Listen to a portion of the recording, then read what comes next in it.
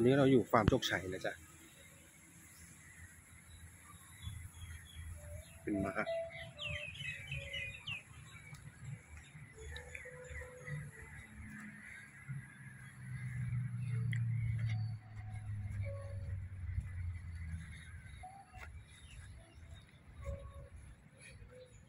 ผ่านมาหลายรอบเลยนะ ไม่ค่อยได้แวะเลยนะนี่วันนี้ได้แวะ ดีใจ มีม้าให้ดู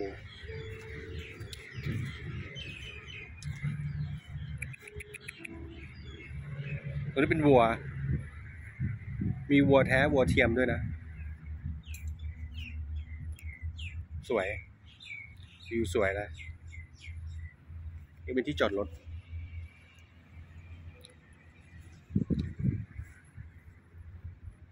ลิบๆเลยอะ ดูดิ สวยมากเลยอะ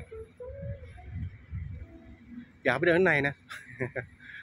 คงเดินได้เนี่ย มีช่องให้เดินเข้านะ